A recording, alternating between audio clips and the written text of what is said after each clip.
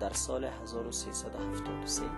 در راولپیندی پاکستان تحت نام مکتب ابتدایی افشار توسط مرحوم حاجی سخیداد یوسفی تأسیس شد و تا سال 1381 بیش از 4000 دانش آموز دختر و پسر مهاجر افغان در شهرهای راولپیندی، اتک از برنامه های تعلیمی و تربیتی این لیسه بهرهمند بودند. با سقوط رژیم طالبان لیسه عالی معرفت نیز بخش عمده فعالیت های خود را به داخل کشور منتقل ساخت و برنامه های تعلیمی و تربیتی خیش را از یک تعمیر کرایی چهار اتاقه واقع در پل خشک دشت برچی از مربوطات ناحیه سیزدهمی شهر کابل آغاز نمود.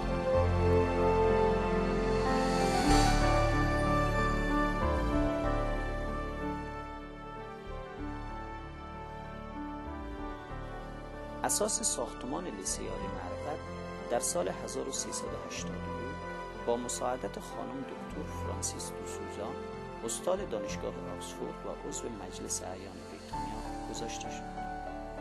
خانم دوسوزا در تقویت برنامه های لیسه عالی معرفت سهم بزرگ را بر عهده گرفت. در عین حال تعداد از حامیان اجتماعی لیسه نیز در تکمیل ساختمان و تجهیز لوازم ضروری آن سهیم شدند. لیسیالی معرفت اکنون دارای 33 اتاق درسی همراه با دفاتر اداری، نمازخانه، سالن کنفرانس و سیمینارها، گالری هنری، لابراتوار، کتابخانه، کانتین و امثال آن می باشد.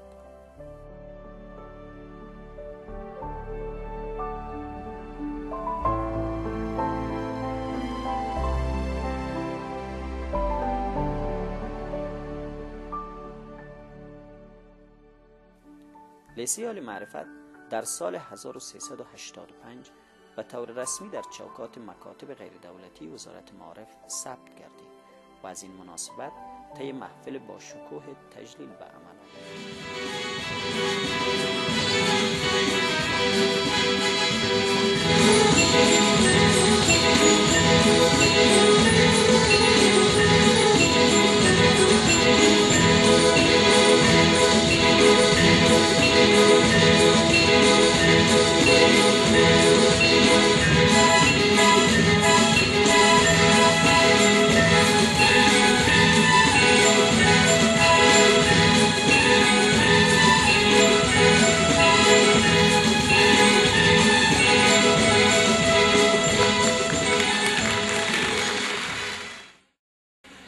لیست مکتب شما را لیسی شما را.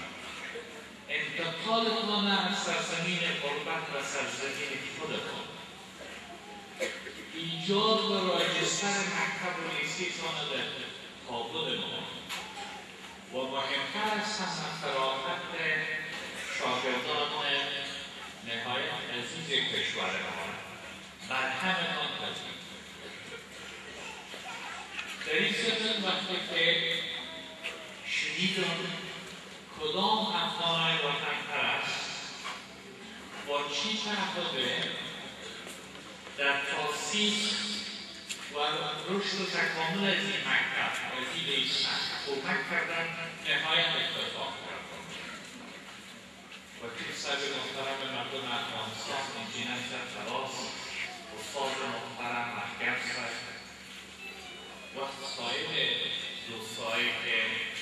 به این مکتب کمک کنند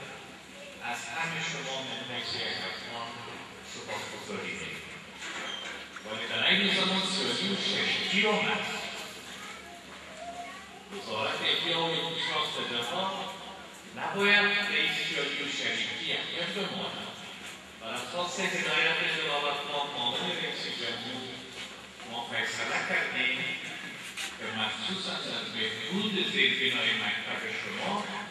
διάγραφο ταξίσα και ταξίσεξε ο Χαϊσαγούλ Χαϊσαγμέγον το μισή χαζό το λάνα τα γεντρική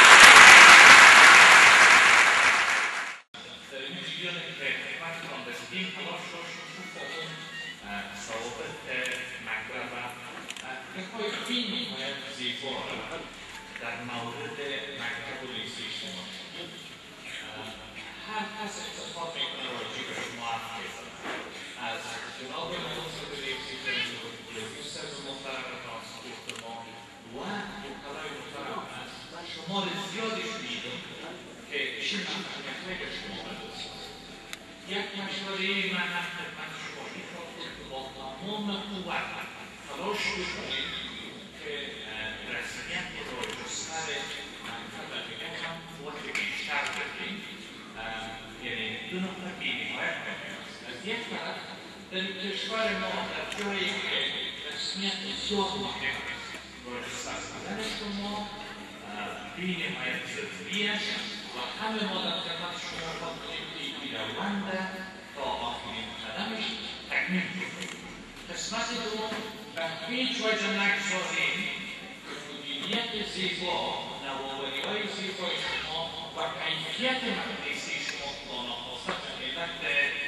di accogliere il Grassi da qui quella marcia di Pecchia, nei a